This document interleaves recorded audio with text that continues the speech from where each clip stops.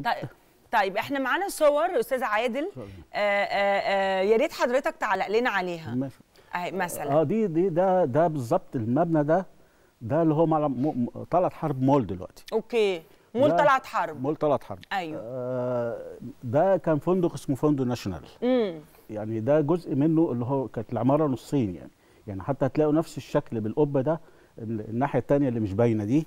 اللي هي على ناصية شارع عبد الخالق ثروت مع أيوه بالظبط. شارع. عبد الخالق ثروت مع شارع آه طلعت حرب. أيوه. يعني فشوفوا المول إزاي وهي كانت كده. ففي كلام يعني إنها كانت كلها فندق ده ال- الكارت البوستالي اللي كان بيتوزع. عالميا لل- للفندق اللي هو فندق ناشونال. آه، دي بقى اللي هي لو تلاحظ الأتوبيس الأبيض ووراه ال- ال- العربية اللي شايلة الشنط والمحطة اللي هي في العمارة دي هتلاقي ال- اللي فيها بابين تحت كبار دول أو أو ثلاثة دي اللي هي العمارة بتاعت اللي هي مصر الطيران اللي كان بيتم فيها إجراءات آه، آه، يعني التذاكر وكده. وده بردك لنفس المكان للعمارة لل- لل- للمحطة وهي ال- العمارة اللي تحت بردك اللي هم تلاقي فيه رخام أبيض على الناحيتين دول. ده كان ثلاث بيبان هم بتوع المحطة نفسها. جميل.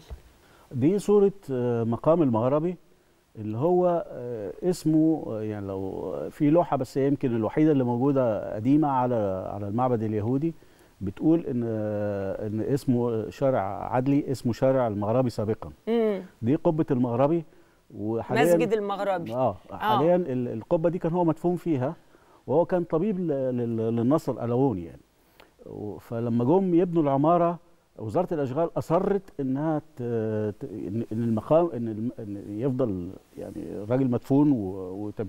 فاتعمل العمارة جواها فيه ال... امم في المسجد بتاعه. دي خريطة بقى اللي هي حديقة الحرية اللي قدام الأوبرا.